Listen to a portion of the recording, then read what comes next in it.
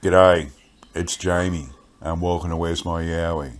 Today, I'm reading an old newspaper report about the capture of a bunyip at Cape Otway, Victoria in 1847, so we'll get into it. This was published in the Geelong Advertiser and Squatters Advocate on Tuesday, the 21st of September 1847, titled Extraordinary Sea Monster.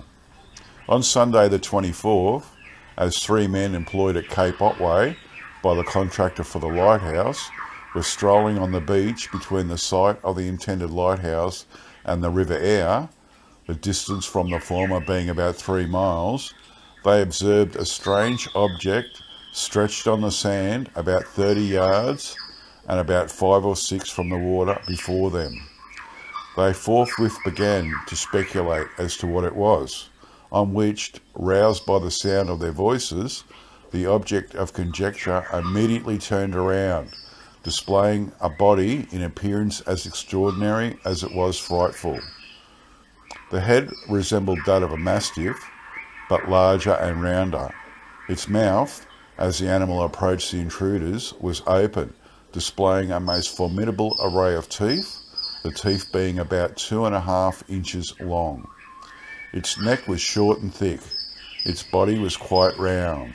At the thickest part measured about five feet in circumference, but considerably diminished and became flat towards the tail. The belly was of a silver colour, the back black, and the sides a light grey with white spots. The length was nine feet two inches, and as he approached the men, showing his teeth most fiercely, as if determined to shew fight, their first impulse was to get away as quietly as possible. But finding that he moved rather slowly, they gathered courage, and mounting a small eminence of stones, began to pelt him with great vigour. He continued to face them, however, and in his own clumsy manner made an attempt to approach the men, each in turn as he threw the stone being the object of the monster's attack. The occurrence lasted about two hours and was terminated by the men throwing quantities of sand down his throat, which was more easily done as his formidable jaws were never closed from the time that he was first seen. After he was dead, he was immediately skinned, and part of the hide may be now seen in Geelong. The most remarkable part of the animal, by whatever name it may be called, were four extraordinary appendages, two of which resembled the leg of a quadruped, proceeding from the root of the tail, each being about two feet long and furnished with two flaps, the flaps being about six inches long, and each mounted at its extremity with two talons resembling the bill of an eagle hawk the other two proceeding from the shoulders and were two strong cartilages terminating in fine talons similar to already alluded to. These appendages were connected to the body by means of a thin web, which gave the, the whole very much appearance of wings. These were called into requisition when the animal moved himself. On them, it seemed to raise its whole body, and by using them in a peculiar way, it turned or helped itself. The other appendages or legs seemed to be quite useless on dry land. Next day, the carcass was drawn to Cape to the Cape by four bullocks, and out of a small part of it, two gallons of excellent oil were procured, and which still served to enlighten the solitary inhabitants in that locality. The remainder of the carcass would, it is computed, have produced 30 gallons if proper means had been taken. The skeleton is still in the neighbourhood and may be inspected by the curious in such matters. Much speculation has been hazarded as to the identity of this monster, some supposing it to be a seal, but many circumstances, such as its boldness on being approached, several peculiarities in its external appearance, as well as the expressed opinion of an experienced currier that the skin is not a seal skin, tend to do away with this superstition.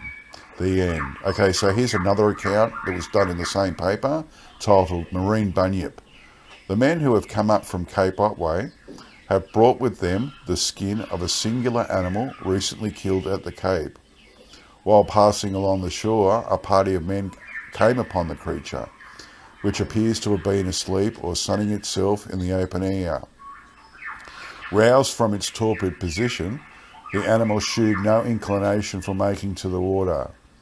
It faced the party and even pursued them some way. They succeeded in killing him by throwing stones at his head. The carcass measured nine feet in length. The head was round, not unlike a mastiff's. Its arms were long and muscular, and were connected to the body by a membrane like a bat's wing. The body resembled that of a man, deep chested and terminated by powerful rudimentary legs. The skin was covered with a close, short fur, back on the black, black on the back, blue and white spotted like a leopard on the sides, and silvery on the belly. The men have repeatedly seen seals at the cave and are positive that it was quite a different animal. Was it of the walrus kind or what? In the absence of a more scientific name, we will call him Marine Bunyip. Wow, that's uh, pretty amazing what these guys have seen. They're saying it's got like the head of a mastiff dog, but larger and rounder, and it had teeth two and a half inches long. Um, it had uh, extraordinary appendages, two of which uh, looked like the leg of a quadruped, and they proceeded from the root of the tail, and uh, they were like uh, two feet long and had flaps on the end of them, and uh, on the end of the flaps that were six inches long, there was um, two talons resembling an, the bill of an eagle, and then the other arms were its main arms, its forearms. Its arms were long and muscular and were connected to the body by a membrane like a bat's wing, and the body resembled that of a man, deep chested and terminated by two rudimentary legs. The skin was covered in uh, short black fur on the back and blue and white spotted like a leopard on the sides and silvery on the belly. And then the, an experienced cur- currier, a guy that tans and skins animals, he said the skin's not a seal skin. And then the men that found the creature, they've seen seals at the Cape themselves, and they said it's not a seal at all, which is really interesting. And like, there's no way that this is a seal, not with four legs, no way, because seals do not have legs. Okay, that's it for me. I'll get back to you all next time. Bye.